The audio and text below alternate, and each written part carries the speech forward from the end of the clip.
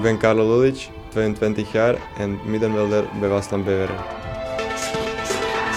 Twee basisplaatsen en overwinningen tegen Club Brugge en Antwerpen. Het leven in Beveren lacht Carlo Lulic eindelijk toe. Toch is de jonge Kroaat nog lang niet helemaal tevreden. I can be satisfied because finally I get my chance to, to prove myself. And uh, of, of, course uh, it's really satisfying that we win both games.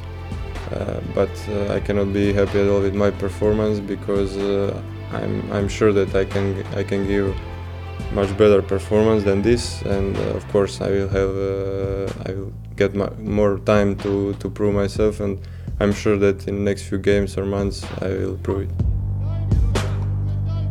Tot speeldag 11. Zo lang moest Lulic wachten vooraleer hij een eerste keer in de wedstrijdselectie zat. De aanvallende middenvelder kwam simpelweg niet in de plannen van Yannick Ferreira voor. Maybe he had different style of play, different way of thinking uh, for football. and uh, of course maybe I, I am sure that uh, I wasn't in, in his plans uh, to to adopt on this this style but of course like I said I have to respect these these decision, decisions and I keep to work and finally now, now I'm here and I, I'm looking forward. Het waren moeilijke weken en maanden voor Lulic.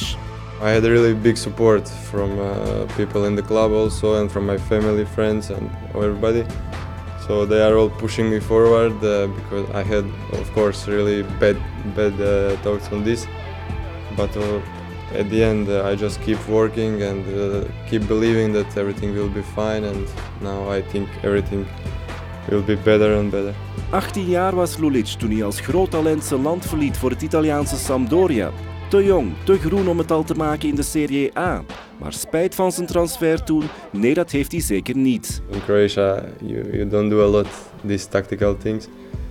And uh, of course, then when you when you play with uh, such a big players like Samuel Eto'o and uh, Eder and Obiang and these thing, these these players, uh, it's really nice to learn from them.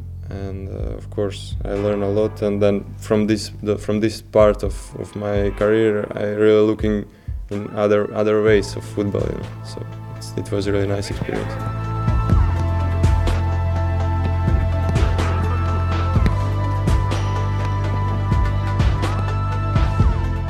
Steun van Kustovic hoopt Lulic de komende weken snel naar zijn beste niveau te groeien. It's, really nice uh, that uh, that he can explain me these things, these details in the game on my language. and uh, and of course he has really gr great connection with every player.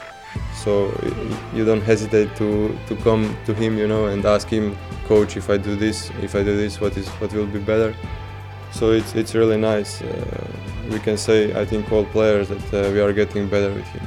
We're almost at the end of the year. What can I wish you for 2019? I don't know many goals and uh, assists and uh, to help this uh, this club to to stay in the first league. That's all.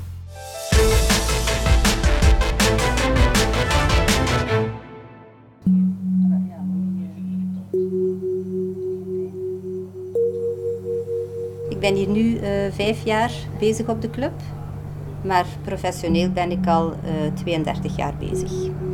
Dus voeten hebben geen geheimen meer voor Nee, nee, nee, nee. Er zijn al heel veel voetjes door mijn handen gegaan. Dus.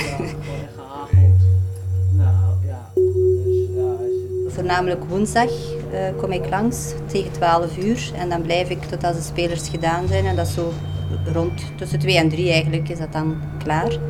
En uh, ik zie er zo ja, tussen de 5 en de 10 spelers komen er langs. En uh, dat varieert. Mensen met problemen die wekelijks komen, dat gebeurt ook. En anders is zo een roulement. Dus soms uh, ben je er een beetje gemakzuchtig in en dan laat je het even twee weken niet doen. En dan voel je toch gelijk dat, dat je eelt begint te irriteren. En dan, dan denk je, ja, moet toch gewoon lekker wekelijks gaan. Tenminste ik, sommige jongens hebben er geen last van. Alleen ik ga gewoon lekker wekelijks.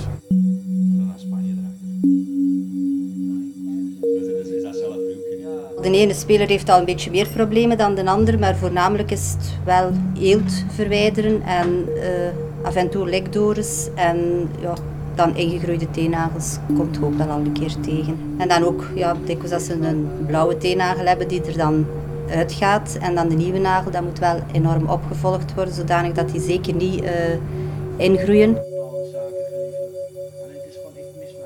De Nederlandse spelers praten natuurlijk veel gemakkelijker dan de Engelse en Franstalige spelers. Maar op zich gaat dat wel. Hebben wel met iedereen een babbel. Dat is wel. Kan jij meepraten over voetbal? Over de matchen wel, maar eigenlijk, ja, eigenlijk wel. Op zich gaat het wel. Ik kom ook elke week kijken naar de matchen. Dus uh, je ziet wel al een beetje uh, wat dat er gebeurt, niet gebeurt. Goed gebeurt, slecht gebeurt. Dus uh, dat is het probleem niet. Dus we weten wel hoe dat de match in elkaar zit. Je bent supporter van Waasland Ja, ja, ja. Al, al vele jaren. We zijn begonnen met supporteren toen ze nog in tweede klasse speelden. En dan zodanig veel te blijven te komen kijken, zijn we blijven kijken. We hebben vier dochters en alle vier onze dochters hebben ook een abonnement. Dus wij komen bijna eh, wekelijks met zes personen naar de match kijken. Het is altijd uh, fijn om mensen te leren kennen bij de club. En uh, ja, zij leert ons ook steeds beter kennen en het wordt eigenlijk steeds leuker.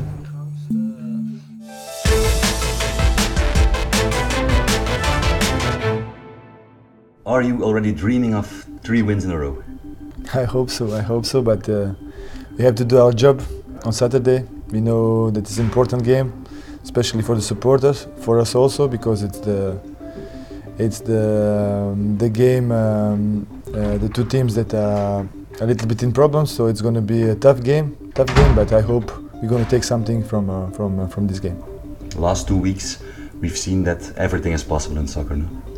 Of course, if you if you give everything, if you have the, the motivation, the enthusiasm, and uh, uh, at the at the end you have what you deserve. So in these two games, I think we, we already showed the motivation, and uh, and that's why we take the six points. I think they, they know they know it's an important game for sure. But uh, I will not put the pressure on this game because it's still not finished because you still have 10 games after so it's an important game for sure. We will try to win it and we, we are going to do everything to win it, but it's not finished yet. Even if, if we win the game on, on Saturday, it's not finished yet. Never change a winning team? Yeah, we, are going to see. Of course, never change the winning team. The guys, uh, they worked hard. Uh, Nana is coming uh, back. That's the only thing uh, on what I have to think about for, the, for, this, uh, for this game.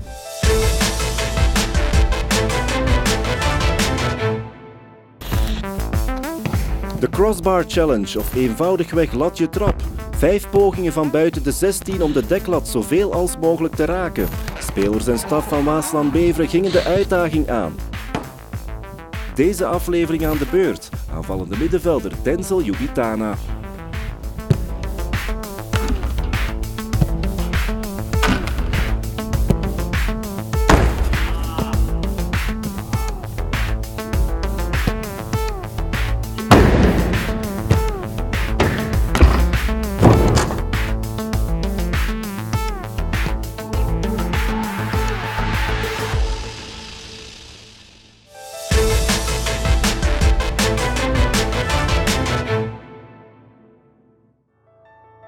WBTV werd mede mogelijk gemaakt dankzij deze partners.